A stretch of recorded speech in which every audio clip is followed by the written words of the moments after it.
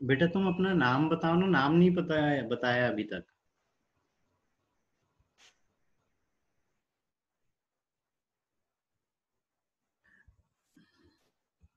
बेटा अपना नाम बताओ, नाम नहीं बताया है, पहले अनम्यूट करो। नाम बताओ अपना।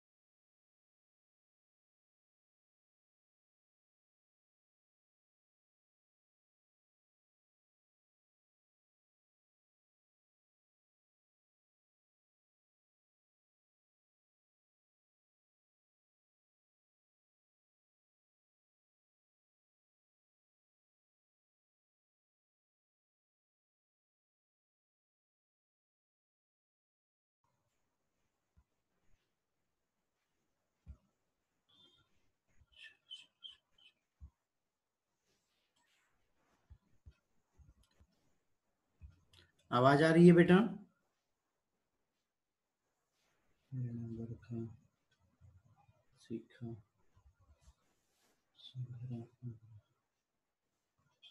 आवाज़ आ रही है साक्षी त्रिवेणी? प्रेरणा?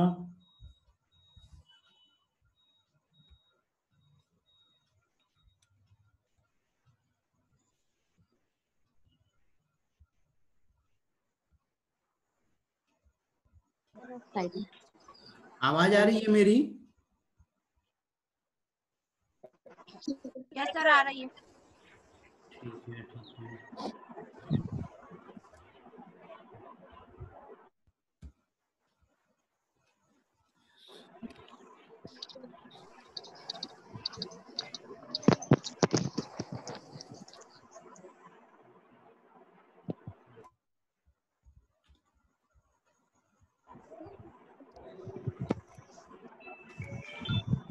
हाँ भाई।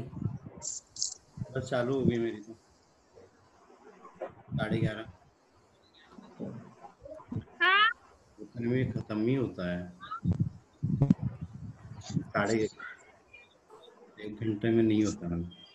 इसलिए दो कर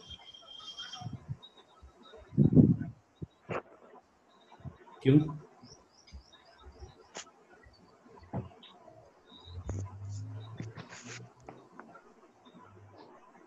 तो हाँ चल इस बारे में बात करते हैं। हाँ हाँ तेरे से हाँ।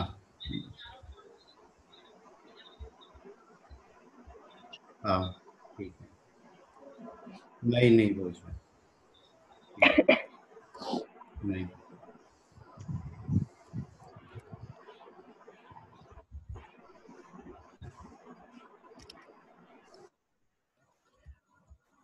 आवाज़ आ रही है हम? आज थोड़ा सा वो नेट वगैरह की प्रॉब्लम हो रही है दिक्कत हो रही है ना। थोड़ा सा रुको। सर आ रही है आवाज़। हाँ एक चीज़ ये भी बताओ और जो क्लास का टाइम है हमारा जैसे थोड़ा सा हमारा डेढ़ घंटे पूछ जाता है या सवा घंटे पूछ जाता है तो इससे कोई दिक्कत है क्या किसी को? नहीं सर ज़्यादा हो रहा है या कम हो रहा है? ठीक है ना इतना टाइम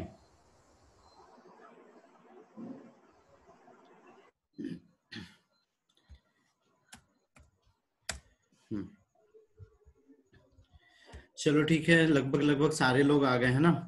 आ, आज देखो हम नया वाला चैप्टर चालू कर रहे थे और इस वाले चैप्टर में ना एकदम हम क्या चलेंगे? पॉइंट टू पॉइंट चलेंगे एनसीआरटी ठीक है? दूसरी चीज़ें बिल्कुल नहीं देखने वाले आज। बिल्कुल जो सिर्फ़ एनसीआरटी की जो चीज़ें दिख रही है वही चीज़ें हम लेके चलेंगे ठीक है? स्क्रीन दिख रही है सभी को? हाँ? ठीक है शायद दिख रही है। यस सर ठीक है देखो ये मैं नोट्स भी सब सेंड कर दूँगा तो आज ज़रूरी नहीं है कि तुम लोग कोई पॉइंट नोट करो है ना? आज वाले टॉपिक पे बिल्कुल ज़रूरत नहीं है कि कुछ चीज़ें नोट करना है या नहीं करना ये इतने पॉइंट मैं सारे सेंड करूँगा।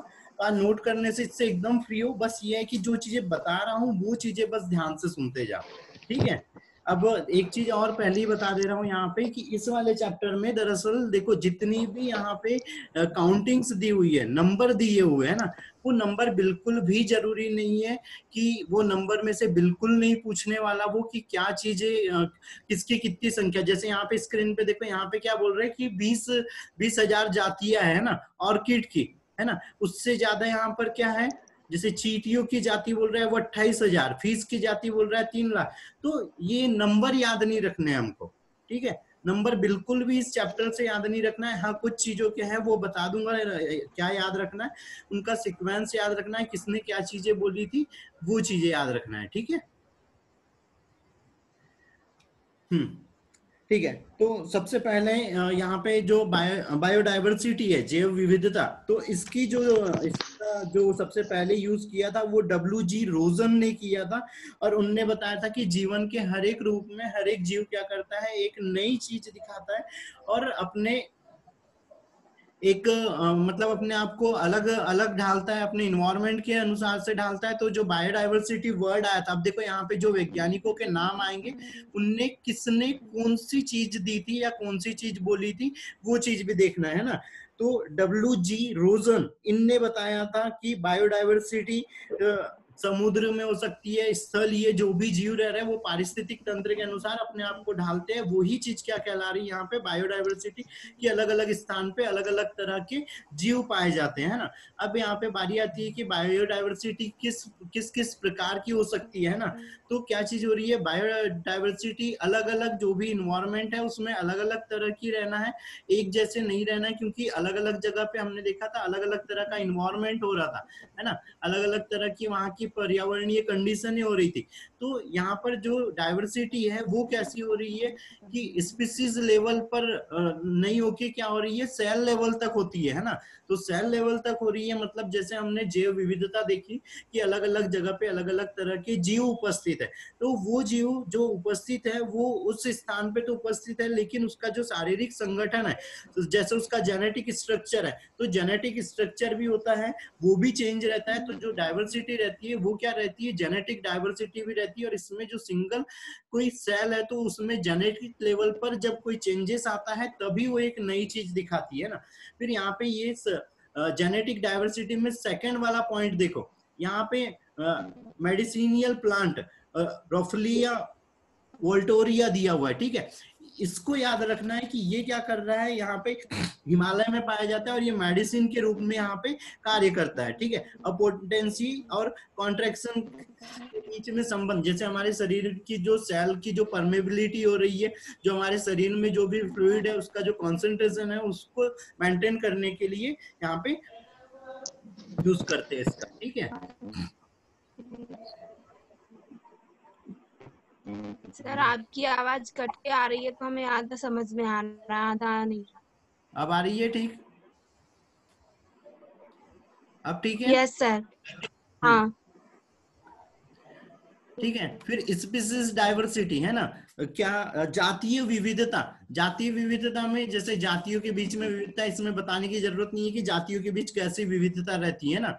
ठीक है? फिर इकोलॉजिकल तो इकोलॉजिकल में कल हमने वो अलग अलग तरह अलग अलग तरह जगह के पारितंत्र देखे थे, है ना? तो वो पारितंत्रों में क्या हो रहा था? जैसे कहीं पे मरुस्थल था, कहीं पे वर्षा वाले वन थे, कहीं पे मैंग्रोव वन थे, कहीं पे कोरल रीफ हो रही थी, कहीं पे ग्रास लैंड थे, कहीं पे अल्पलाइन था। तो इस तरह से क्या हो रहा है, जो इकोलॉजिकल डाइवर्सिटी है, उसमें जो इन्वायरमेंट है, वहाँ पे जो वनस्पतियाँ वगैरह पाई जा रही है, जो वहाँ पर जो इन्वायरमेंट है, वहाँ की जो जलवायु है, उस आधार पे यहाँ पे हमको वो चीज़ हमको पता चलती है कि वहाँ पे कोई जाती है तो वो किस तरह से अलग है। तो अगर वो कोई इकोलॉजिकल फैक्टर्स के कारण वहाँ पे जो विविधता पाई जाएँगी, वो क्या कहलाएँगी, यहाँ पे इकोलॉजिकल डाइवर्सिटी कहलाएँगी, है ना? फिर इस डाइवर्सिटी में डायवर्सिटी में हमने वो कल वो भी देखा था क्या? आ, आ, क्या बोल रहे थे उसको? अनुक्रमण सक्सेशन है ना? कि जो सक्सेशन हो रहा है या अनुक्रमण हो रहा है उसमें बहुत लंबे टाइम तक हो रहा है। तो जो भी इवॉल्वेशन हो रहा है या कहीं पे कोई जातियों के बीच में कोई डिफरेंस आ रहा है तो वो कोई छोटे से टाइम में नहीं आ रहा है ना। बहुत लंबे टाइम में आता है बहुत लंबा टाइम लग जाता है उसके लिए तब उसमें वो चीज़ होती है कि हाँ ठीक है वो एक लंबे टाइम तक उस इन्वायरमेंट में रहते तो उस हिसाब से वो अनुकूलित हो जा रही है फिर अपनी एक नई जाति उत्पन्न कर ले रही है ना। तो ये जो है वो जो जीव है वो इन्वायरमेंट के साथ में इंटरेक्ट करता है उसके साथ में संबंधित होता है तब उसमें हमको नए लक्षण यहाँ पे देखने को मिल जाते हैं या एक विविधता देखने को मिलती है ना। फिर ये कौन आया?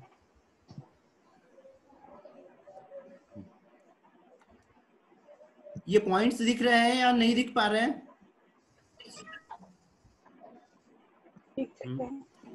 दिख रहे हैं सर।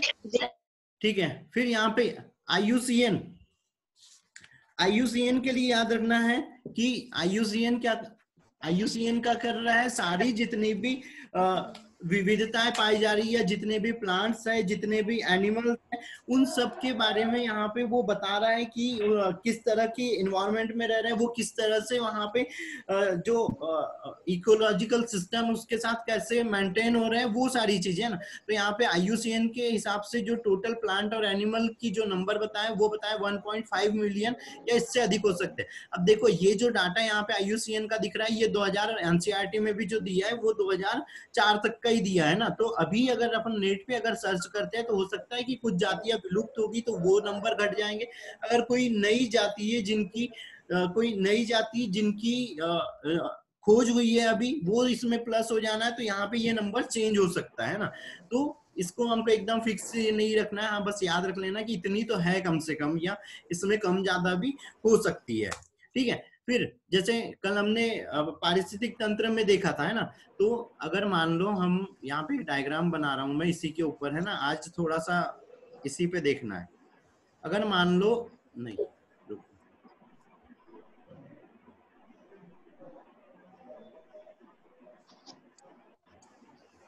हम्म।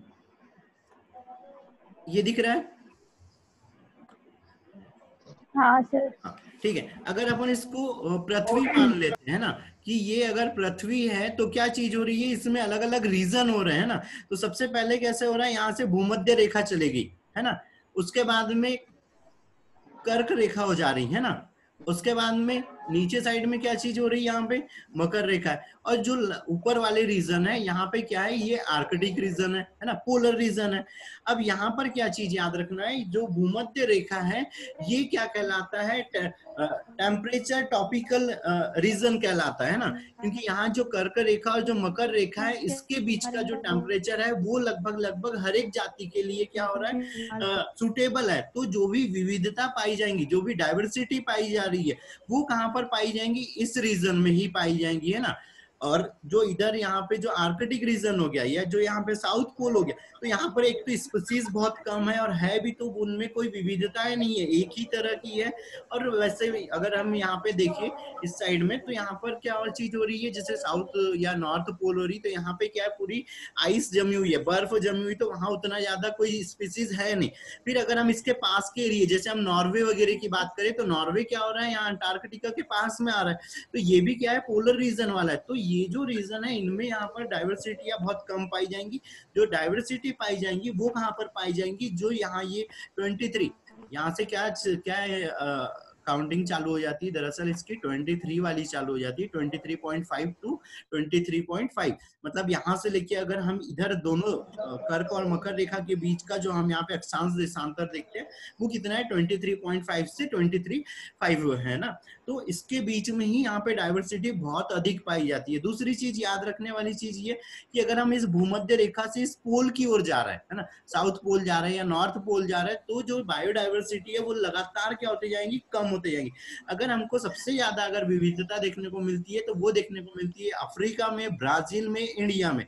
और इंडिया में हर एक तरह का इन्वायरमेंट है। क्यों? क्योंकि देखो, वो यहाँ पे है कर्क रेखा के पास में तो इधर साउथ पोल साइड भी उसका आधा पार्ट हो रहा है, इधर नॉर्थ पोल साइड या यहाँ पे जो क्रिएटर है, इसके साइड भी उसका आधा रीजन हो रहा है। तो यहाँ पर लगभग लगभग हर तरह हमने जो वनों का अगर क्लासिफिकेशन अगर देखा हो तुम लोगों ने तो यहाँ पे इंडिया में हर एक तरह के वन पाए जाते हैं। बस अल्कलाइन थोड़े से कम रहते हैं कि हाँ अल्कलाइन वन थोड़े से कम है क्योंकि वो सिर्फ़ कहाँ पे? हिमालय वाले क्षेत्र में। बाकी जगह पे यहाँ पे बाकी सारी चीज़ें पाई जा रही तो इंडिया में जो जैव विविधता है वो सबसे अधिक है। उसके बाद अगर आती है तो आती है कहाँ? साउथ अफ्रीका ब्राज़ील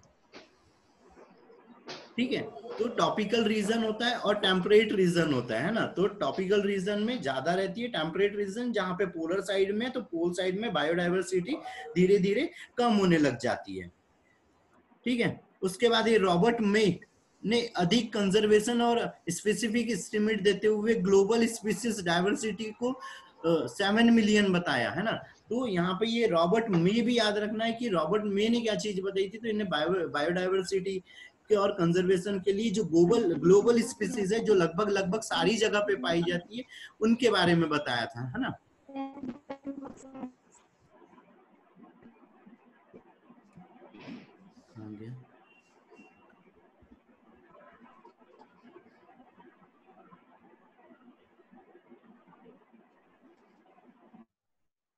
हम्म।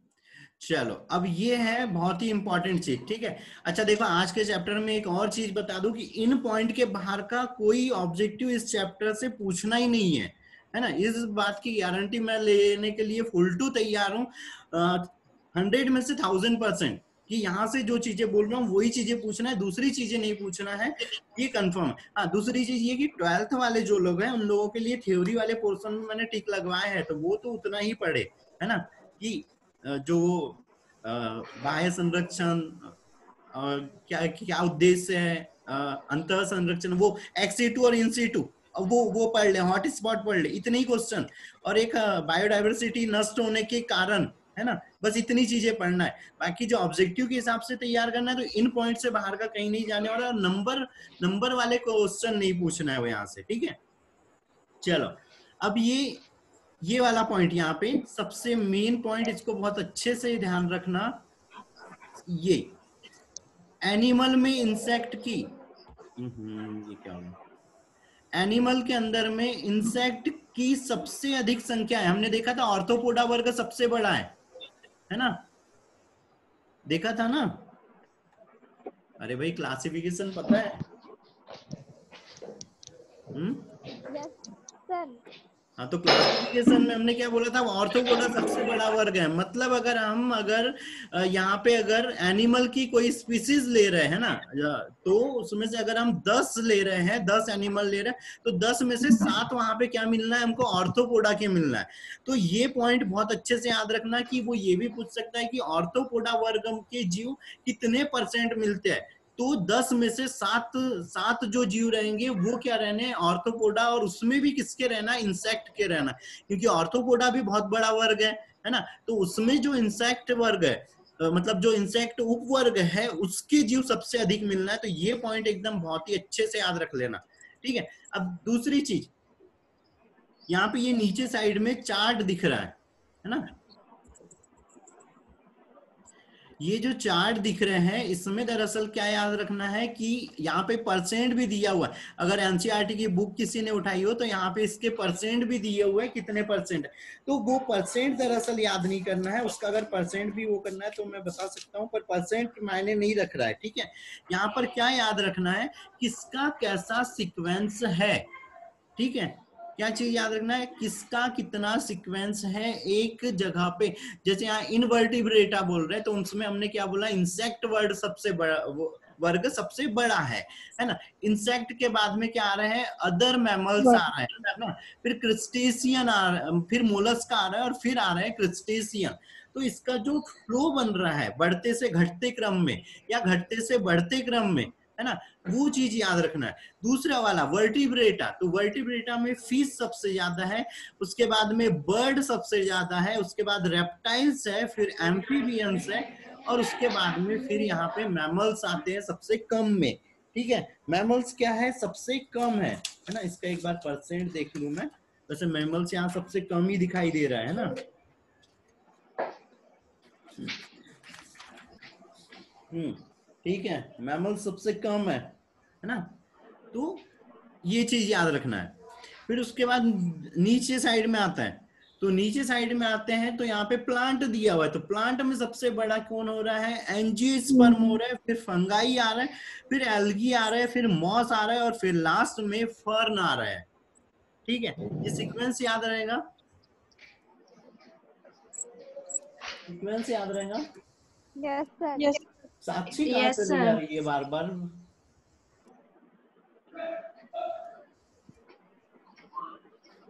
साक्षी बार बार गायब हो जा रही है। ठीक है? चलो आगे बढ़ते हैं। यहाँ तक कुछ डाउट है क्या? आज के इसमें बिल्कुल डाउट तो होना ही नहीं चाहिए। नो no, सर हाँ, ठीक है, अब बारी आती है यहाँ पे प्रोक्यूरियोटिक्स की कि भैया प्रोक्यूरियोटिक्स कहाँ गए? है ना? तो देखो बैक्टीरिया वगैरह जो भी है, वो बहुत ही ज़्यादा मात्रा में और हम उतने सारे को ढूंढ नहीं सकते, है ना? और अभी तक जो अर्थ है, उस पे अगर देखा जाए तो सिर्फ़ 22 परसेंट हम स्पीसीज को खोज पाए हैं। बाकी के बारे में अभी भी हमको नहीं पता है कि क्या है। तो यहाँ पे प्रोक्रिएट्स को हम काउंट नहीं कर रहे हैं, क्योंकि वो बहुत ज़्यादा संख्या में हो सकते हैं। उनकी संख्या हम निश्चित नहीं कर सकते कि वो कितने होंगे, कितने नहीं होंगे, है ना? तो अगर वो बोलता है कि बायोडाइवर्सिटी में किसको काउंट नहीं करते हैं या किसकी नंबर ऑफ़ काउंटिंग नहीं देखते हैं तो वो रहेंगे प्रोक्यूरियोटिक्स ठीक है? ठीक है? हम्म। Yes sir hmm. अब क्यों ऐसा? क्योंकि वो संख्या में बहुत ज़्यादा छोटे हैं है ना? इसीलिए है ना? ठीक है। उसके बाद में आती है ब, क्या है? बायोकेमिकल एंड मॉलिकल क्राइटेरिया लगाए तो इनकी डाइवर्सिटी मिलियन में होंगी। अगर हम काउंटिंग पे करने लगे उनकी तो बहुत ज़्यादा हो जाएँगी है ना? इसलिए उनको बिल्कुल छोड़ दो। कुछ भी वो नहीं याद रखना है कि क्या चीज़ है है ना? हम्म, चलो यहाँ पे अब इंडिया इंडिया की बारी आती है तो इंडिया में लगभग पैतालीस हज़ार प्लांट की स्पीसीज है है ना? और इससे दुगने क्या बोल रहे हैं? वो एनिमल है। जाके कोई ठीक है। इससे ज़्यादा क्या है यहाँ पे एनिमल है। दूसरी चीज़, अब यहाँ पे ये याद रखना है कि इंडिया का कंट्रीब्यूशन कितना है वर्ल्ड की बायोडायवर्सिटी में। तो वो क्या चीज़ हो रही है? 2.4 परसेंट अगर याद रह जाता है तो ठीक है, नहीं तो स्टार्टिंग में मैंने बोला था यहाँ पे कि नंबर ऑफ़ वैल्यू बिल्कुल भी याद नहीं रखना है इस चैप्टर में। ठीक है? याद रह गई तो बहुत अच्छी बात है, नहीं रही तो कोई बात नहीं, है ना? ठीक है? उसके बाद मेगा बायो, बायोडाइवर्सिटी, है ना? मेगा बायो, बायोडाइवर्सिटी और माइक्रो बायो, बायोडाइवर्सिटी। तो इसमें अभी मैंने बताया जो भूमध्य रेखा और जो कर्क रेखा और जो मकर रेखा से टच वाले जो देश है, वो देश आते हैं यहाँ पे जैसे अफ्रीका हो गया रसिया हो गया, ब्राज़ील हो गया, इंडिया हो गया, है ना? साउथ अफ्रीका हो गया स्वीडन हो गया। ये जो देश है, ये क्या हो रहे हैं? मेगा बायोडाइवर्सिटी रीजन में आते हैं। मेगा बायोडाइवर्सिटी मतलब जहाँ पे बहुत अधिक विविधता पाई जाती है। बहुत ज़्यादा वहाँ पे जीवों में अंतर पाए जाते हैं। बहुत अलग अलग प्रकार की प्रजातियाँ है अलग अलग तरह का इन्वायरमेंट है। तो मेगा डाइवर्सिटी में इंडिया मेगा बायोडाइवर्सिटी में आता है। ठीक है? ये चीज़ याद रखना है। फिर ये मेरे, अभी बताया था, रॉबर्ट मे, है ना? रॉबर्ट मे के अनुसार अभी तक 22 परसेंट स्पीसीज ही रिकॉर्ड की गई है। तो इसको भी याद रखना है। इसको तो बहुत अच्छे से याद रखना है। ठीक है?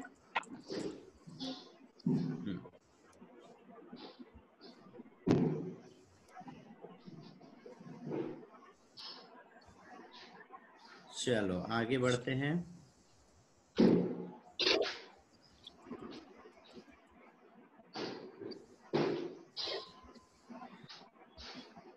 हम्म अरे यार ये क्या हो गया?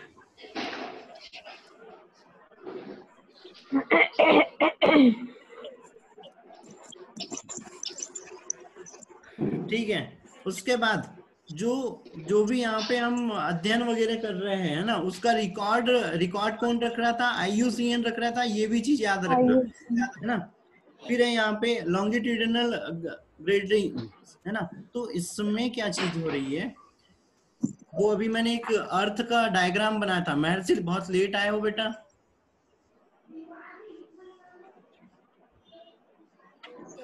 हम्म। चलो ये हमने अभी यहाँ पे एक अर्थ का ड्रॉ किया था, है ना?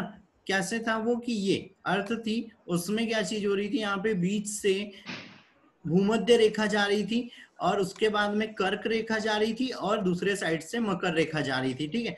तो ये जो जा रही थी, और फिर इसमें बोला था कि ये वाला जो रीजन है यहाँ पे, भूमध्य रेखा से कर्क रेखा वाला, इस रीजन में सबसे ज़्यादा बायोडाइवर्सिटी रहना है। बहुत ज़्यादा यहाँ पे विविधताएँ देखने को हमको मिलेंगी, ठीक है?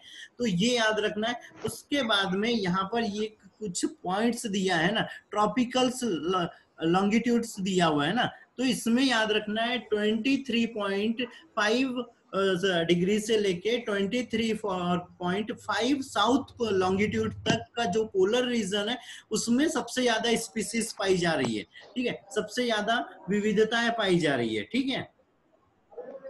उसके बाद में यहाँ पे कंपेयर बोला गया है ना? कोलंबियस इक्वेटर के पास में इक्वेटर क्या है? भूमध्य रेखा। तो वहाँ पर क्या है सबसे ज़्यादा विविधता है 1400 स्पीसीज है पक्षियों की। न्यूयॉर्क 41 डिग्री नॉर्थ में आता है तो यहाँ पर 105 है। ग्रीनलैंड उससे ज़्यादा दूर हो रहा है 71 डिग्री नॉर्थ में आ रहा है। तो यहाँ पे बर्ड की जो स्पीसीज हो गई वो 50 56 ही स्पीसीज है, ना? तो यहाँ पर अब क्या याद रखना है ये जो सीक्वेंस बना हुआ है ज़्यादा से कम वाला कि कोलंबिया न्यूयॉर्क और उसके बाद में ग्रीनलैंड ठीक है? दूसरी चीज़, अब तुमको यहाँ पे ना थोड़ा सा अर्थ का मैप भी देखना पड़ेगा और उसमें देखना पड़ेगा कि कौन सा देश इक्वेटर पर है और कौन सा देश पोलर रीजन पे। जो इक्वेटर के पास में, जो भूमध्य रेखा के पास में, वहाँ पे नंबर ऑफ़ स्पीसीज बहुत ज़्यादा रहेंगी।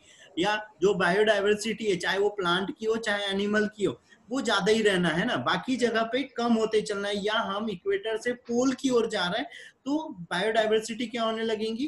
कम होने लगेंगी, ठीक है? बहुत अच्छे से याद रखना है बेटा ये।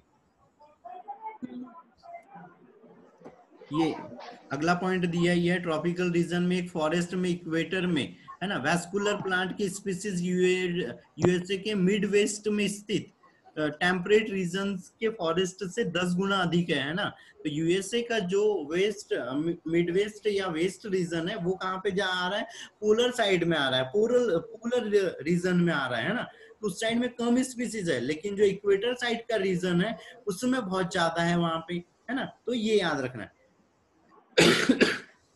फिर ये नंबर्स दिए साउथ अफ्रीका के। अगर याद रख सकते हो तो ठीक है नहीं रख सकते हो तो कोई बात नहीं है।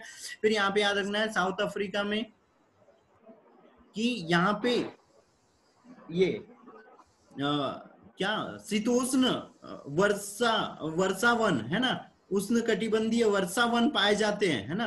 तो उनसे साउथ अफ्रीका में सबसे ज़्यादा जो बायोडाइवर्सिटी है वो उसके टैपिकल अमेजोन रेन फॉरेस्ट में है ना? अमेजोन वर्ड वो आ, क्या अमेजोन वन उनके लिए क्या याद रखना है? दूसरी चीज़ कि उनको क्या बोलते हैं पृथ्वी के?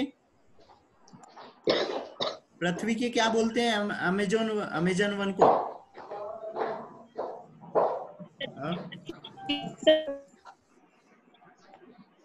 क्या बोलते हैं? पृथ्वी के फेफड़े। हाँ पृथ्वी के फेफड़े। और वो कितने परसेंट ऑक्सीजन देता है अर्थ में? हाँ? कितने परसेंट ऑक्सीजन देता है? दीक्षा? सर पता नहीं। बहुत बढ़िया। ट्वेंटी परसेंट है ना? सबसे ज़्यादा अगर वो दे रहे हैं, कोई कहीं से ऑक्सीजन आ रही है तो वो आ रही है अमेजोन वन से आ रही है, ट्वेंटी परसेंट, है ना? ट्वेंटी परसेंट कॉन्ट्रीब्यूशन रहता है वर्ल्ड की ऑक्सीजन में, है ना? इसीलिए उनको हम पृथ्वी के फेफड़े बोल रहे हैं ना? ठीक है?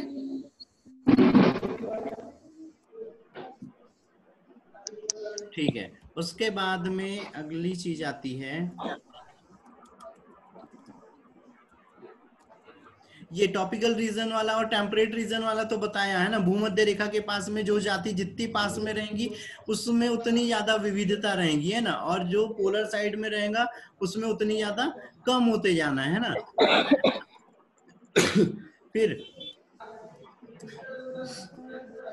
रीजन है ना? ये कि टॉपिकल में सोलर एनर्जी अधिक अवेलेबल होती है जिसके कारण प्रोडक्टिविटी बढ़ रही है, इसीलिए डाइवर्सिटी बढ़ जाती है ना?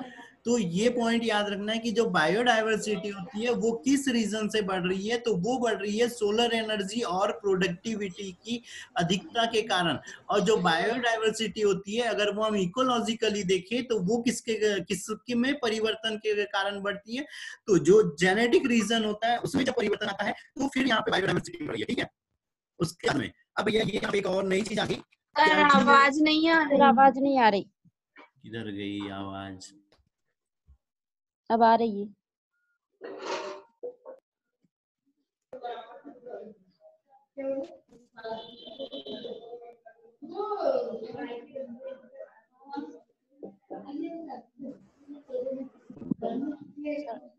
मैं ही म्यूट हो गया था, बाकी को म्यूट करने की जगह। चलो। हम्म अब यहाँ पर ना ये जो ग्राफ दिख रहा है है ना? तो ये ग्राफ क्या है? जातीय क्षेत्र मतलब एक स्पीसीज वाला एरिया है। उसमें जो चेंजेस आ रहे हैं, वो कैसे आ रहे हैं, उसके बारे में दिया गया था। तो ये किसने दिया था? अलेक्जेंडर वॉन हेम्बोल्ट ने दिया था, ठीक है? अब यहाँ पे क्या चीज़ याद रखना है? इस ग्राफ से कुछ भी मत वो करो। कि उसमें क्या क्या लिमिट है, क्या उसमें कौन किसको दर्शा रहा है, कुछ भी मत याद रखो। बस यहाँ पर ये जो एक फॉर्मूला दिख रहा है है ना? ये फॉर्मूला को याद कर लो कि log s is equal to log c plus Z log a बस, क्योंकि वो इसमें बिल्कुल ऐसे नहीं पूछने वाला फुल टू गारंटी कि वो बिल्कुल ऐसी कोई चीज़ नहीं पूछने वाला है, जिसमें वो बोल देगा कि भैया ये चीज़ इसकी वो कोई वैल्यू दे दी कि भैया ठीक है एस की वैल्यू दे दी और बोल दिया कि भैया ए बताओ क्या है ए का कितना है, या सी की वैल्यू दे दी और बोल दिया एस बताओ कितना है, ऐसा बिल्कुल नहीं करने वाला है ना। वो बस यहाँ पे ये बोलने वाला है कि स्पीसीज का जो रिलेशनशिप है उसके एरिया के अनुसार वो कैसे होता है तो उसके लिए ये फॉर्मूला भर याद रख लो। ठीक है? ठीक है? यस यस सर वो बोला यस सर हाँ हम्म ये फॉर्मूला भर याद रख लेना है ना? ठीक है अब दूसरी चीज़। अब यहाँ पर वैल्यू याद रखना है ये वाली वैल्यू बहुत ज़्यादा याद रखना है। ठीक है? अब वैल्यू में क्या याद रखना है कि जैसे जो रीजन हो रहे हैं अलग अलग तरह के रीजन है है ना? तो उस रीजन में, जैसे जो हमने भूमध्य रेखीय रीजन बोला था तो भूमध्य रेखा पे बायोडाइवर्सिटी है, वो कैसी होना है तो वो सबसे अधिक होना है है ना? जो फिर कर्क रेखा वाला रीजन आता है, वहाँ पे क्या होना है? कम होना है, और जो पोलर रीजन आता है, वो क्या होना है? सबसे सबसे कम होना है। तो ये जो ग्राफ दिख रहा है है ना? इस जो ग्राफ में यहाँ पे जो नीचे वाला एरिया है मतलब यहाँ पर क्या होना है? नीचे साइड में जो स्पीसीज है, उसमें यहाँ पे बहुत कम चेंजेस रहना है, लेकिन ऊपर साइड में क्या होना है? बहुत ज़्यादा यहाँ पे परिवर्तन हमको देखने को मिलेगा। तो यहाँ पे याद रखना है कि जेड की वैल्यू है ना? तो जेड क्या है? जो स्पोर लाइन है मतलब वो जो लॉन्गिट्यूड्स दिए हुए है उस लाइन के ऊपर में तो जेड की वैल्यू क्या रहना है? 0.1 से 0.2 रहना है। ठीक है? मतलब इसके बीच में रहना है। फिर टेक्सोनॉमिक ग्रुप रीजन में कोई भी यहाँ पे किसी तरह की वैल्यू नहीं आएँगी, है ना? फिर जेड रीजन है ना? तो जेड जेड रीजन जैसे कहाँ पर आ रहा है? इक्वेटर के पास में अगर आ रहा है ना? और जो वो ग्राफ है, वो कैसे जा रहा है? जैसे एक ग्राफ देखो, एक ग्राफ कैसे गया? सीधा गया। तो ये क्या हो गया? एस वाला हो गया। ये कैसे जा रहा है यहाँ पे? तिरछा जा रहा है। मतलब उसकी जो लॉग फेस वाला एरिया हो रहा है, वो कैसा? हमने उधर वृद्धि ग्राफ पढ़ा था, उसमें पढ़ा था लॉग फेस, स्टेशनरी फेस। तो जो लॉग फ़ेज़ वाला एरिया है, जो स्पीसीज वगैरह है, वो बढ़ते जा रही है। तो उसका मान कहाँ पर बढ़ रहा है? इक्वेटर के पास में, भूमध्य रेखा के। तो यहाँ पर जेड की वैल्यू क्या हो जाना है? ज़ीरो पॉइंट सिक्स से लेके वन पॉइंट टू तक हो जाना है। ठीक है जब वो तिरछा जाने लगेगा ग्राफ तब। अगर वो सीधा जा रहा है तो सीधा कहाँ पे जाता है? जो कर्क रेखा हो गई वहाँ पर या जो पोलर रीजन हो गया वहाँ पर जाता है। तो उसकी वैल्यू याद रखना है और जो इक्वेटर है उसके पास की वैल्यू याद रखना है। ठीक है? ठीक है? ठीक है? हाँ सर ठीक है। जी। सर फिर अलग अलग उदाहरण में तो अब यहाँ पे sir. ये जो था ये अधिकतर ये हमने किसके लिए तो बोल दी थी? प्लांट के लिए या नॉर्मल स्पीसीज के लिए? लेकिन अब यहाँ पे जो ट्रॉपिकल रीजन है और जो बर्ड है और मैमल्स है उसकी जब हम बायोडाइवर्सिटी देखते हैं तो उसका जेड रीजन पे या जेड वाली वैल्यूज़ की हो जाती है 1.15 ठीक है?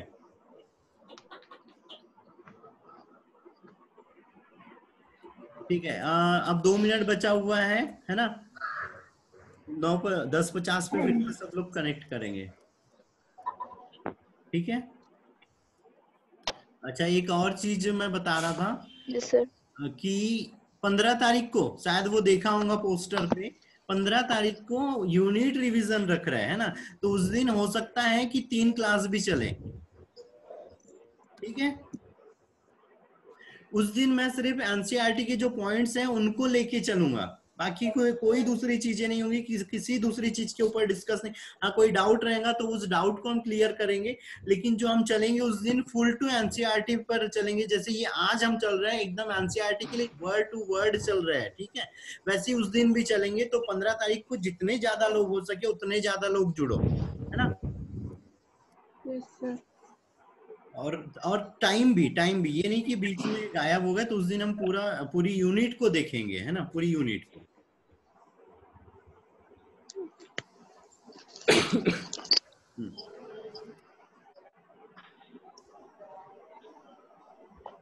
फिर ये मैं ग्रुप में सेंड करूँगा तो इसको और अच्छे से पढ़ना है ना? ठीक है। फिर यहाँ पे जब कोई बायोलॉजिकल कम्युनिटी आ रही है तो स्टेबिलिटी का अर्थ स्टेबिलिटी का अर्थ बोल रहा है, वो तो स्टेबिलिटी कब आएँगी? कोई भी, अरे दरअसल कॉल खत्म होने वाली है। नेक्स्ट इसमें देखते हैं, ठीक है? दस पचास पे, सब टाइम पे, जितने लोग है, इतने लोग, सारे लोग आ जाना। ये नहीं कि आधे लोग गायब हो जा रहे हैं ना। आज वैसे अच्छा है, काफ़ी लोग है। चौबीस लोग है आज, काफ़ी है? चलो, दस पचास पे फिर से मिलो। Okay, sir.